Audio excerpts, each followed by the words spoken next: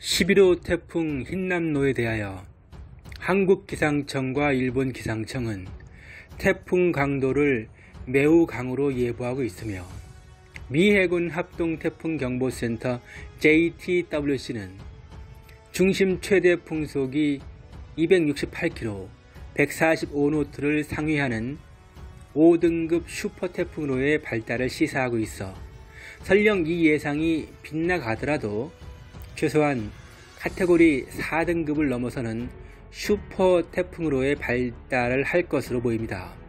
이러한 슈퍼 태풍 힌남노가 한반도를 향하여 다가오고 있습니다.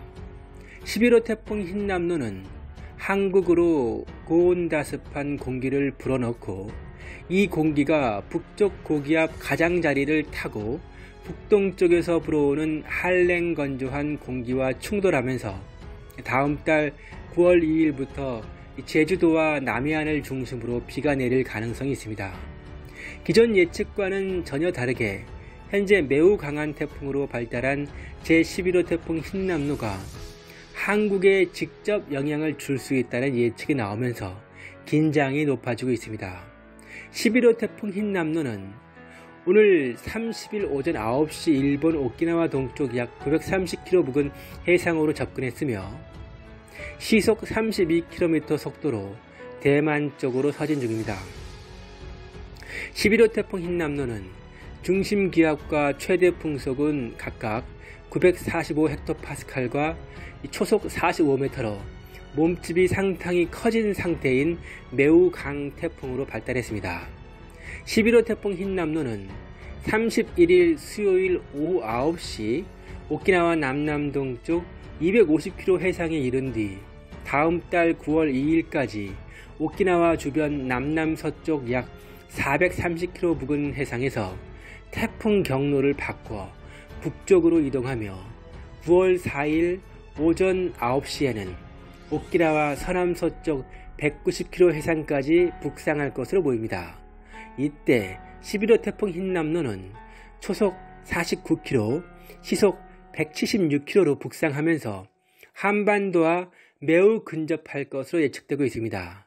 현재 예측되고 있는 11호 태풍 흰남노의 태풍의 세력을 보면 발달 강도는 한국에 최악의 피해를 입힌 태풍 중 하나였던 지난 2002년 태풍 매미와 거의 동급의 발달 강도가 될 것으로 예상되는 강도입니다. 또한 한국 기상청 기준으로는 초강력에 해당하는 수준에 해당하기 때문에 반드시 예의주시해야 하는 상황이 되었습니다.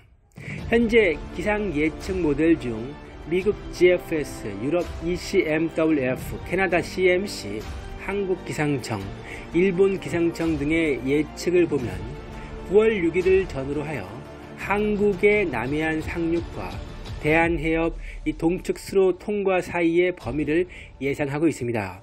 이 예상에 가까운 결과가 발생할 경우 한국의 제주도는 9월 5일을 전후한 시간대에 무조건 태풍의 직접 영향권에 들어설 것으로 보이며 남해안, 부산, 경남 지역의 경우 태풍의 상륙 여부와 무관하게 태풍의 직접 영향권에 들면서 강풍으로 인한 막대한 피해 가능성이 높아지는 시나리오입니다. 만일 11호 태풍 흰남노가 이대로 북상해 한반도에 영향을 끼치게 된다면 올가을 한반도에 직간접 피해를 주는 첫 태풍으로 기록될 것으로 보입니다. 이번 제11호 태풍 흰남노는 이동 경로가 시시각각 변하고 있어 매우 유동적인 상태이기 때문에 9월 4일과 5일 후 이 태풍 위치가 바뀔 가능성이 크므로 이후 발표되는 기상 정보에 반드시 유의하시기 바랍니다. 시청해 주셔서 진심으로 감사드리겠습니다. 구독과 좋아요, 알람 설정을 꼭 부탁드리겠습니다. 이 채널을 운영하는데 큰 힘이 됩니다. 감사드립니다.